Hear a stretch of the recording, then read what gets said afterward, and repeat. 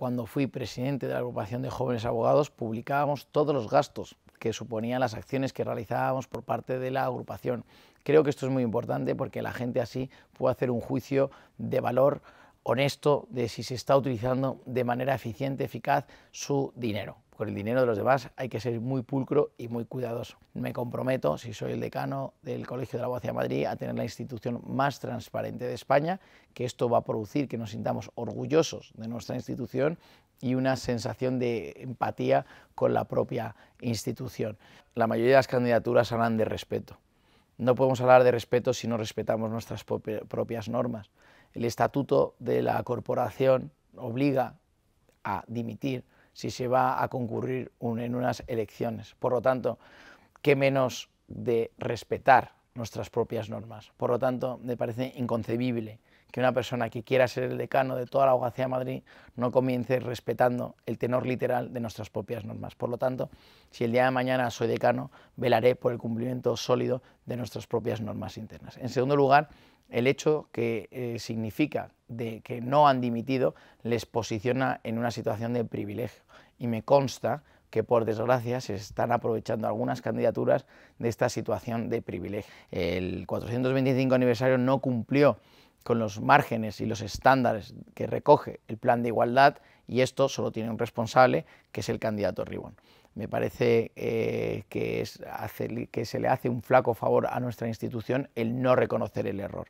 Si soy decano, eh, me comprometo a que esta imagen no vuelva a suceder jamás, que en nuestras mesas haya paridad, que siempre se trate en igualdad de oportunidades a toda la abogacía, sea hombre o sea mujer, pero sobre todo hay que visibilizar las oportunidades de todos en un plano de igualdad. El 54% de, de, los colegiados o de las colegiadas de nuestra institución son mujeres, pero luego nos encontramos que hay muy pocas en órganos de dirección. ¿Por qué está este, este problema? Pues la mayoría del problema nos lo encontramos en la edad de maternidad y de paternidad. Por lo tanto, si queremos hablar de igualdad, tenemos que hablar de conciliación. Para hablar de conciliación, nosotros llevamos las siguientes medidas. En primer lugar, llevamos seis meses de carencia en el pago de las cuotas para las mamás y los papás para visualizar que la maternidad y la paternidad va a estar en el centro del ICAM. Llevamos la incorporación de una ludoteca o de una escuela infantil para poder mejorar en la conciliación cuando tengamos que compaginar las actuaciones judiciales o profesionales con la institución. El coste de la misma la hemos calculado en unos 700.000 euros y hay dinero en el presupuesto para ejecutarla. Yo creo que necesitamos un colegio de la abogacía moderno, cercano con sus colegiados, cercano con sus colegiadas y que más allá de que se nos llene la boca con medidas de igualdad, hagamos prácticas y políticas que apuesten por la conciliación y que permitirán una mayor igualdad en nuestra institución. El 20 de diciembre no solamente nos jugamos la elección de una candidatura u otra, nos jugamos mirar al futuro ante los grandes retos que hay, ante esas adversidades para poder ser líderes ante los cambios de, la misma. Se echa en falta por la mayoría de los colegiados que nos faltan al respeto en los juzgados. Claro, la abogacía ni está ni se la espera.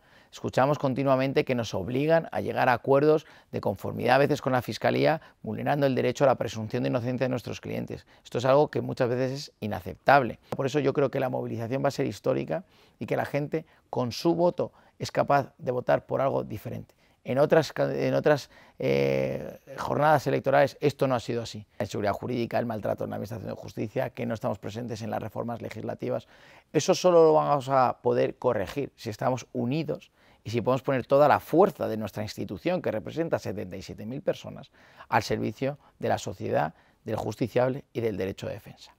¿Cómo estamos unidos? Sería la pregunta que tendríamos que plantearnos. Nosotros creemos que podemos estar unidos si tenemos un colegio que es transparente, para generar empatía y afección con la institución, porque muchas personas dicen que los colegios de la abogacía se manejan como cartujas, que hay oscurantismo. Por eso queremos ser transparentes, para que esto no quede en, la boca de nadie. En segundo lugar, queremos apostar por la participación democrática.